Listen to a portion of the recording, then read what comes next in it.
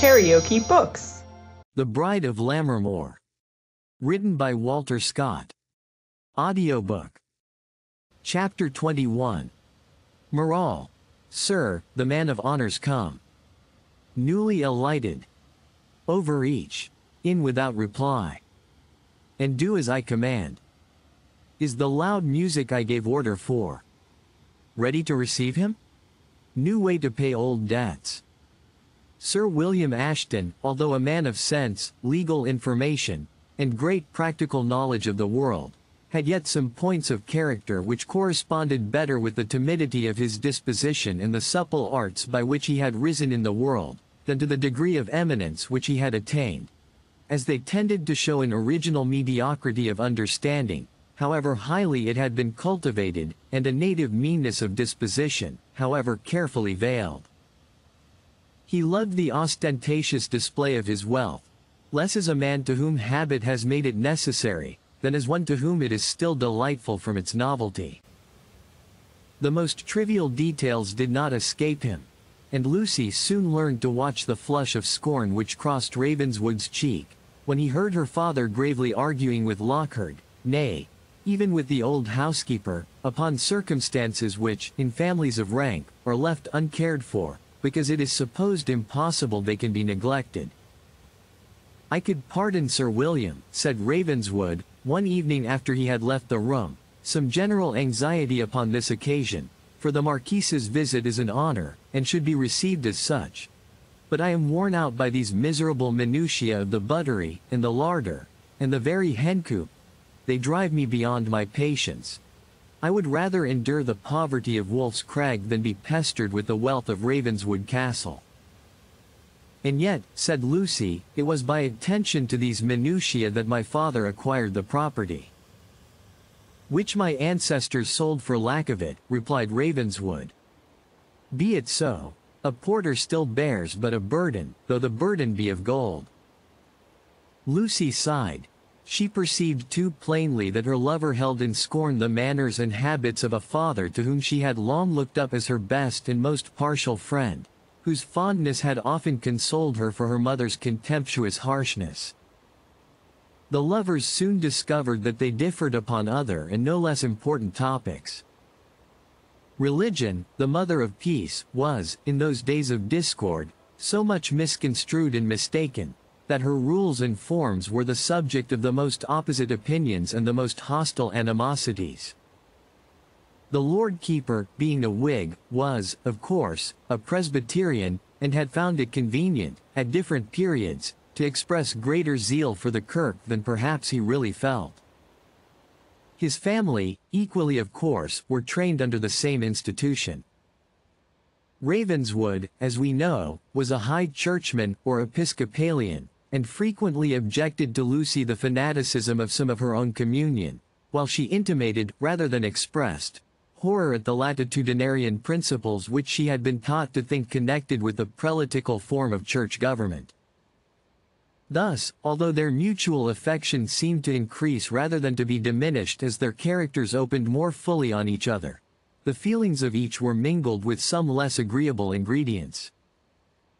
Lucy felt a secret awe, amid all her affection for Ravenswood. His soul was of an higher, prouder character than those with whom she had hitherto mixed in intercourse. His ideas were more fierce and free, and he contemned many of the opinions which had been inculcated upon her as chiefly demanding her veneration. On the other hand, Ravenswood saw in Lucy a soft and flexible character, which, in his eyes at least, seemed too susceptible of being molded to any form by those with whom she lived. He felt that his own temper required a partner of a more independent spirit, who could set sail with him on his course of life, resolved as himself to dare indifferently the storm and the favoring breeze. But Lucy was so beautiful, so devoutly attached to him, of a temper so exquisitely soft and kind, that, while he could have wished it were possible to inspire her with a greater degree of firmness and resolution, and while he sometimes became impatient of the extreme fear which she expressed of their attachment being prematurely discovered, he felt that the softness of a mind, amounting almost to feebleness, rendered her even dearer to him, as a being who had voluntarily clung to him for protection, and made him the arbiter of her fate for weal or woe. His feelings towards her at such moments were those which have been since so beautifully expressed by our immortal Joanna Baillie. Thou sweetest thing! That e'er did fix its lightly fibred sprays. To the rude rock, ah! Wouldst thou cling to me?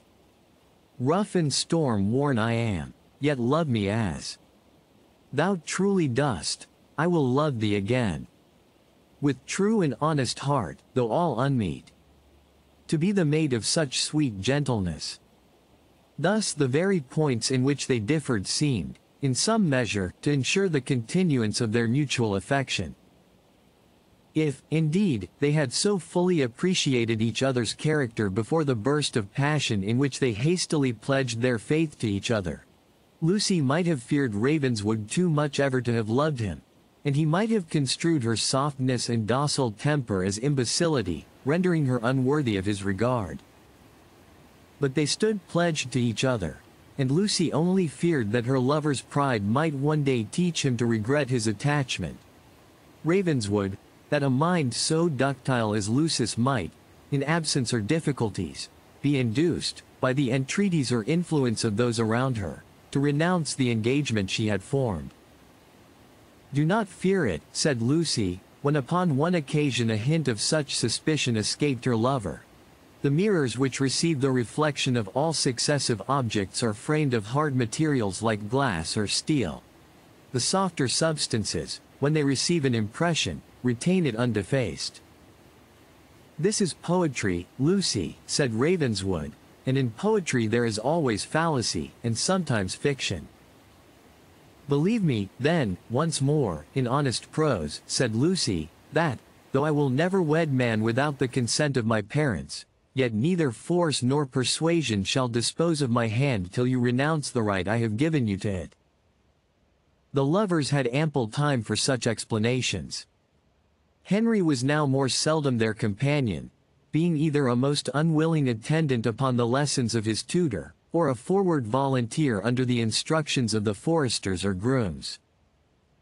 As for the keeper, his mornings were spent in his study, maintaining correspondences of all kinds, and balancing in his anxious mind the various intelligence which he collected from every quarter concerning the expected change of Scottish politics, and the probable strength of the parties who were about to struggle for power.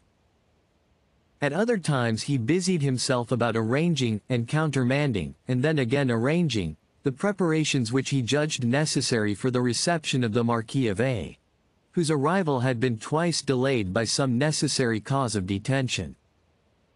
In the midst of all these various avocations, political and domestic, he seemed not to observe how much his daughter and his guest were thrown into each other's society, and was censured by many of his neighbors, according to the fashion of neighbors in all countries, for suffering such an intimate connection to take place betwixt two young persons.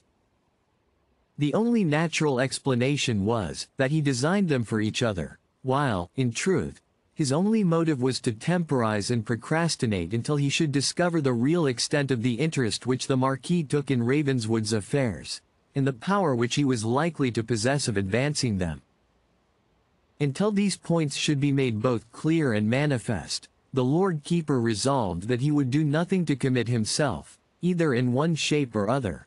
And, like many cunning persons, he overreached himself deplorably. Amongst those who had been disposed to censure, with the greatest severity, the conduct of Sir William Ashton, in permitting the prolonged residence of Ravenswood under his roof, and his constant attendance on Miss Ashton, was the new Laird of Girnington, and his faithful squire and bottle holder.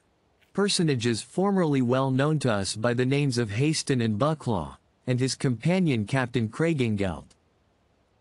The former had at length succeeded to the extensive property of his long-lived grand-aunt, and to considerable wealth besides, which he had employed in redeeming his paternal acres, by the title appertaining to which he still chose to be designated, Notwithstanding Captain Craigengelt had proposed to him a most advantageous mode of vesting the money in law's scheme, which was just then broached, and offered his services to travel express to Paris for the purpose. But Bucklaw had so far derived wisdom from adversity, that he would listen to no proposal which Craigengelt could invent, which had the slightest tendency to risk his newly acquired independence. He that had once eat peas bannocks, drank sour wine, and slept in the secret chamber at Wolf's Crag, would, he said, prize good cheer and a soft bed as long as he lived, and take special care never to need such hospitality again. Craigengelt, therefore, found himself disappointed in the first hopes he had entertained of making a good hand of the Laird of Bucklaw. Still, however, he reaped many advantages from his friend's good fortune.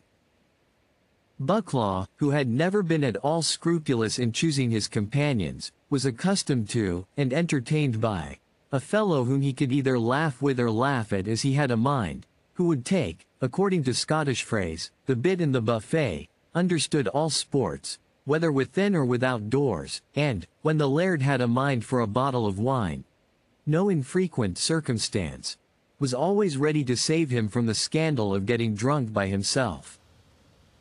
Upon these terms, Craigengelt was the frequent, almost the constant, inmate of the house of Girnington. In no time, and under no possibility of circumstances, could good have been derived from such an intimacy, However its bad consequences might be qualified by the thorough knowledge which Bucklaw possessed of his dependent's character, and the high contempt in which he held it. But, as circumstances stood, this evil communication was particularly liable to corrupt what good principles nature had implanted in the patron. Craigengelt had never forgiven the scorn with which Ravenswood had torn the mask of courage and honesty from his countenance, and to exasperate Bucklaw's resentment against him was the safest mode of revenge which occurred to his cowardly, yet cunning and malignant, disposition. He brought up on all occasions the story of the challenge which Ravenswood had declined to accept, and endeavored, by every possible insinuation, to make his patron believe that his honor was concerned in bringing that matter to an issue by a present discussion with Ravenswood but respecting this subject Bucklaw imposed on him, at length, a peremptory command of silence. I think, he said, the master has treated me unlike a gentleman, and I see no right he had to send me back a cavalier answer when I demanded the satisfaction of one. But he gave me my life once, and, in looking the matter over at present, I put myself but on equal terms with him. Should he cross me again, I shall consider the old accompt as balanced, and his mastership will do well to look to himself. That he should, re-echoed Craigengelt, for when you are in practice, Bucklaw, I would bet a magnum you are through him before the third pass. Then you know nothing of the matter, said Bucklaw, and you never saw him fence. And I know nothing of the matter? said the dependent. A good jest, I promise you. And though I never saw Ravenswood fence, have I not been at Monsieur Sagoon's school, who was the first maitre d'armes at Paris? And have I not been at Signor Poco's at Florence, and Mynheer Durchstossen's at Vienna? And have I not seen all their play? eye don't know whether you have or not, said Bucklaw, but what about it, though you had? Only that I will be D, D if ever I saw French, Italian, or High Dutchman ever make foot, hand, and I keep time half so well as you, Bucklaw. I believe you lie, Craigie, said Bucklaw, however, I can hold my own, both with single rapier, backsword, sword and dagger, broadsword, or case of falchions. And that's as much as any gentleman need know of the matter. And the double of what 99 out of a hundred know, said Craigengelt. They learn to change a few thrusts with a small sword, and then, forsooth, they understand the noble art of defense. Now, when I was at Rouen in the year 1695, there was a Chevalier de Chapon and I went to the opera, where we found three bits of English birkies. Is it a long story you are going to tell? said Bucklaw, interrupting him without ceremony. Just as you like, answered the parasite, for we made short work of it. Then I like it short, said Bucklaw. Is it serious or merry? Devilish serious, I assure you, and so they found it, for the Chevalier and I. Then I don't like it at all, said Bucklaw, so fill a brimmer of my auld auntie's claret, rest her heart. And, as the Highlandman says, skiok doc na skiale. That was what tough old Sir Evan Dhu used to say to me when I was out with the meddled lads in 1689. Craigengelt, he used to say, you are as pretty a fellow as ever held steel in his grip, but you have one fault. If he had known you as long as I have done, said Bucklaw, he would have found out some twenty more. But hang long stories, give us your toast, man. Craigengelt rose, went a tiptoe to the door, peeped out, shut it carefully, came back again, clapped his tarnished gold-laced hat on one side of his head, took his glass in one hand, and touching the hilt of his hanger with the other, named, the king over the water. I tell you what it is, Captain Craigengelt, said Bucklaw, I shall keep my mind to myself on these subjects having too much respect for the memory of my venerable Aunt Girnington to put her lands and tenements in the way of committing treason against established authority. Bring me King James to Edinburgh, Captain, with 30,000 men at his back, and I'll tell you what I think about his title. But as for running my neck into a noose, and my good broad lands into the statutory penalties, in that case made and provided, rely upon it, you will find me no such fool. So, when you mean to vapor with your hanger and your dram cup in support of treasonable toasts, you must find your liquor and company elsewhere.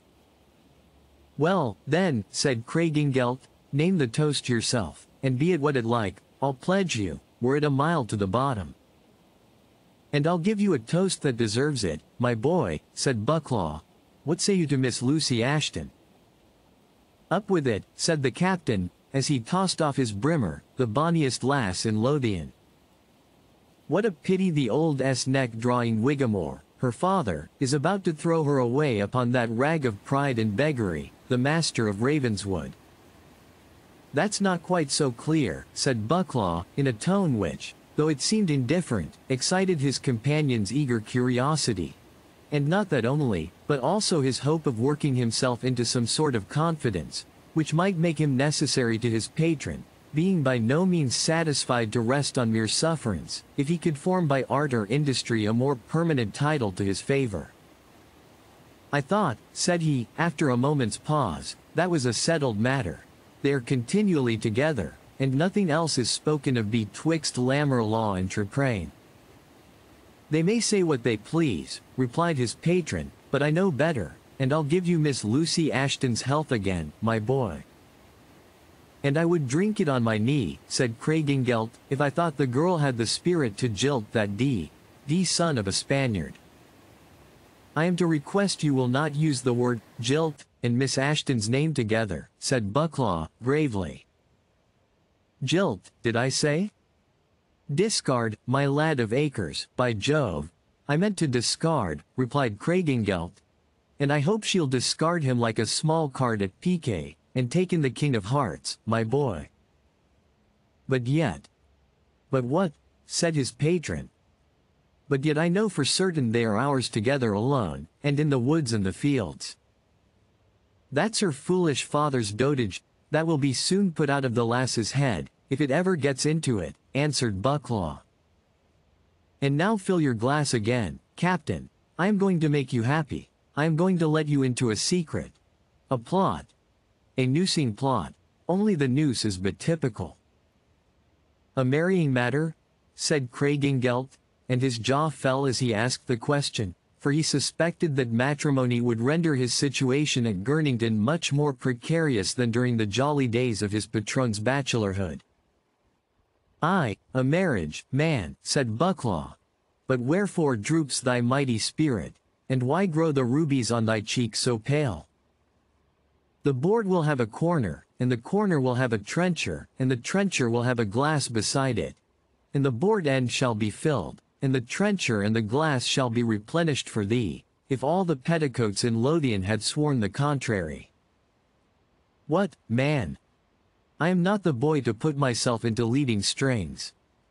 So says many an honest fellow, said Craigengelt, and some of my special friends.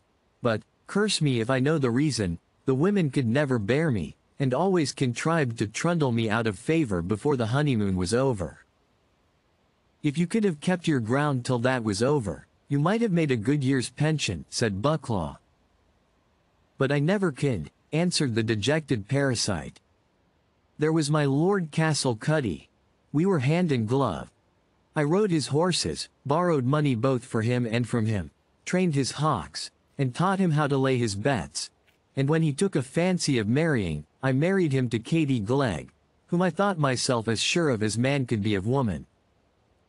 Egad, she had me out of the house, as if I had run on wheels, within the first fortnight. Well, replied Bucklaw, I think I have nothing of Castle Cuddy about me, or Lucy of Katy Glegg. But you see the thing will go on whether you like it or no, the only question is, will you be useful?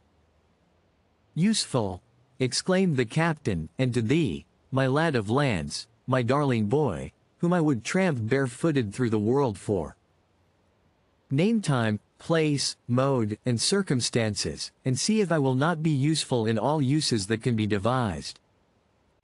Why, then, you must ride 200 miles for me, said the patron. A thousand, and call them a flea's leap, answered the dependent. I'll cause saddle my horse directly. Better stay till you know where you are to go, and what you are to do, quoth Bucklaw. You know I have a kinswoman in Northumberland, Lady Blenkinsop by name, whose old acquaintance I had the misfortune to lose in the period of my poverty, but the light of whose countenance shone forth upon me when the sun of my prosperity began to arise. D. N. All such double-faced jades, exclaimed Craigengelt, heroically. This I will say for John Craigengelt, that he is his friend's friend through good report and bad report, poverty and riches, and you know something of that yourself, Bucklaw. I have not forgot your merits, said his patron. I do remember that, in my extremities, you had a mind to crimp me for the service of the French king, or of the pretender. And, moreover, that you afterwards lent me a score of pieces, when, as I firmly believe, you had heard the news that old Lady Girnington had a touch of the dead palsy. But don't be downcast, John. I believe, after all, you like me very well in your way, and it is my misfortune to have no better counselor at present. To return to this Lady Blenkinsop, you must know, she is a close confederate of Duchess Sarah. What? Of Sall Jennings? exclaimed Craigengelt, then she must be a good one. Hold your tongue, and keep your Tory rants to yourself, if it be possible, said Bucklaw. I tell you, that through the Duchess of Marlborough has this Northumbrian cousin of mine become a crony of Lady Ashton, the keeper's wife, or, I may say, the Lord Keeper's Lady Keeper, and she has favoured Lady Blenkinsop with a visit on her return from London, and is just now at her old mansion house on the banks of the Wansbeck. Now, sir, as it has been the use and wont of these ladies to consider their husbands as of no importance in the management of their own families, it has been their present pleasure, without consulting Sir William Ashton, to put on the tapis a matrimonial alliance, to be concluded between Lucy Ashton and my own right honourable self. Lady Ashton acting as self-constituted plenipotentiary on the part of her daughter and husband, and Mother Blenkinsop, equally unaccredited, doing me the honor to be my representative. You may suppose I was a little astonished when I found that a treaty, in which I was so considerably interested, had advanced a good way before I was even consulted. Capot me. If I think that was according to the rules of the game, said his confidant, and pray, what answer did you return? Why, my first thought was to send the treaty to the devil, and the negotiators along with it, for a couple of meddling old women. My next was to laugh very heartily, and my third and last was a settled opinion that the thing was reasonable, and would suit me well enough. Why, I thought you had never seen the wench but once, and then she had her riding mask on, I am sure you told me so. Aye, but I liked her very well then. And Ravenswood's dirty usage of me, shutting me out of doors to dine with the lackeys, because he had the Lord Keeper, forsooth, and his daughter, to be guests in his beggarly castle of starvation. D. N. me. Craigengelt, if I ever forgive him till I play him as good a trick. No more you should, if you are a lad of metal, said Craigengelt, the matter now taking a turn in which he could sympathize. And if you carry this wench from him, it will break his heart. That it will not, said Bucklaw. His heart is all steeled over with reason and philosophy, things that you, Craigie, know nothing about more than myself, God help me. But it will break his pride, though, and that's what I'm driving at. Distance me, said Craigengelt, but I know the reason now of his unmannerly behavior at his old tumble-down tower yonder. Ashamed of your company? No, no. Gad, he was afraid you would cut in and carry off the girl. Eh? Craigengelt? said Bucklaw, do you really think so? But no, no. He is a devilish deal prettier man than I am. Who? He, exclaimed the parasite. He's as black as the crook, and for his size, he's a tall fellow, to be sure, but give me a light, stout, middle-sized. Plague on thee, said Bucklaw, interrupting him, and on me for listening to you. You would say as much if I were hunchbacked. But as to Ravenswood, he has kept no terms with me, I'll keep none with him, if I can win this girl from him, I will win her. Win her.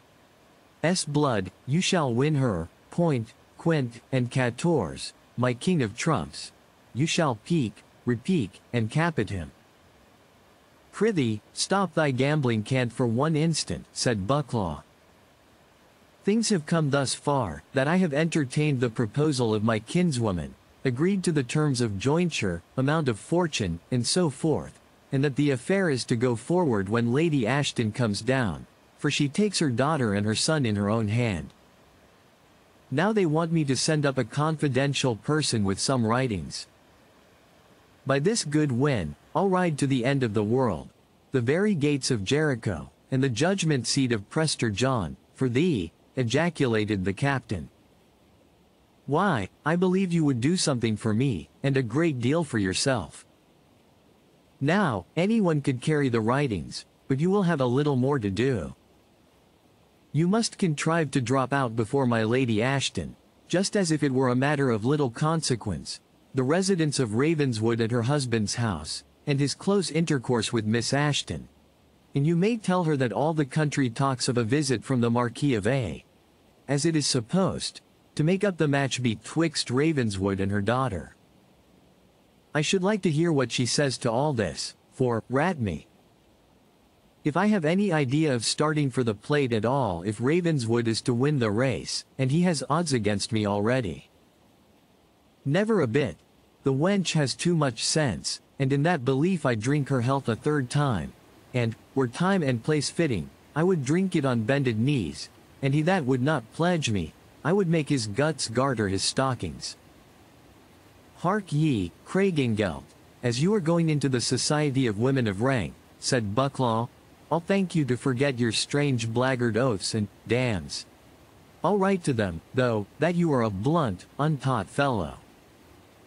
I, I, replied Craigengelt, a plain, blunt, honest, downright soldier.